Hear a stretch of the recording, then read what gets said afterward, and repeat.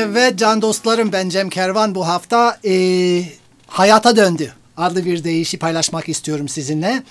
E, yine İsa Ruhullah'ın hayatından esinlendim. Ama pazar günü sabahın köründe kadınlar mezara gittiler.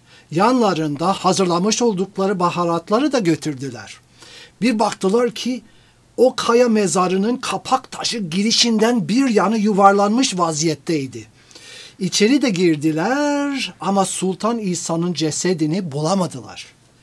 Orada öylece şaşkın şaşkın dururken birdenbire şimşek gibi göz kamaştırıcı elbise içinde iki adam yanlarında zuhur etti. Adam diyoruz ama melek aslında. Kadınlar dehşet içinde başlarını yere eğildiler.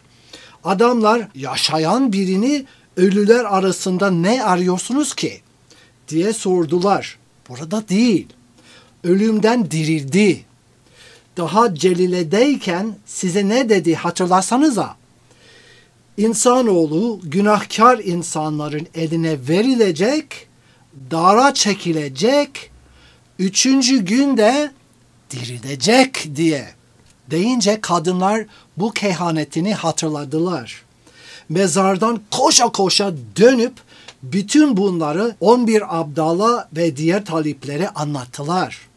Bu olayları abdallara anlatanlar Mecdelli Meryem, Yohana, Yakub'un anası Meryem ve onlarla birlikte olan diğer kadınlardı. Fakat hikayeleri abdallara saçma geldi. Kadınları inanmadılar. Petrus yine de kalkıp mezara bakmaya koştu. Eğilerek içine baktı. Bir tek keten bezleri görebiliyordu. Ne olduğunu merak ederek şaşkın şaşkın eve döndü. Evet oradan esin aldım, ilham aldım ve güzel bir değiş çıktı ortaya. Sizinle paylaşmak istiyorum.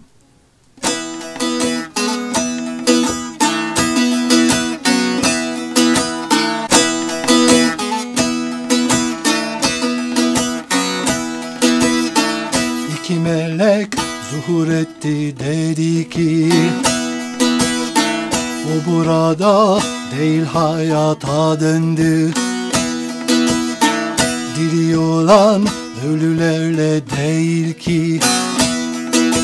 Şah burada değil hayata döndü. Diri olan ölülerle değil ki Şah burada değil hayata döndü. Şah burada değil hayata döndü.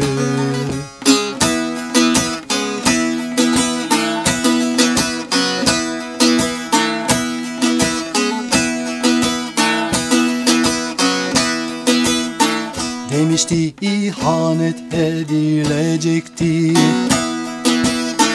Hani şah çarmıha gerilecekti.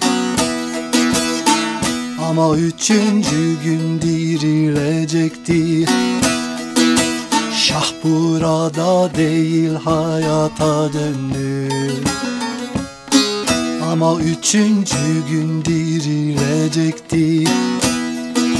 Şah burada değil hayata döndü burada değil hayata döndü.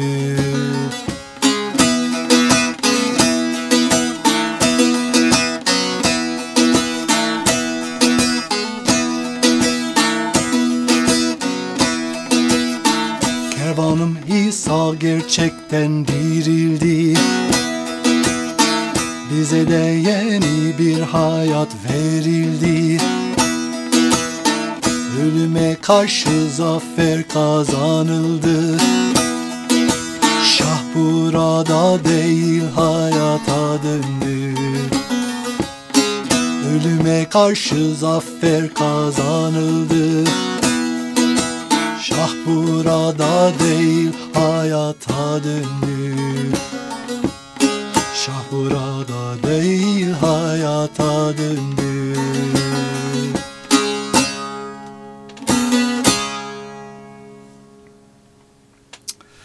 Şah hayata döndü. ve bize zafer kazandı. Ölüme karşı galip gelmiş olduk. Biz tabii galip gelmedik. İsa galip geldi ama o zaferi bizimle paylaştı. Evet beğendiyseniz lütfen beğendim diye işaretleyiverin, düğmeye tıklayıverin. Abone olun, yorum yazın, diğer canlarla paylaşın ve haftaya yine görüşmek üzere. Sevgiyle kalın, barışla kalın, esen kalın, yeni hayatınızda cap canlı kalın. Hoşça kalın.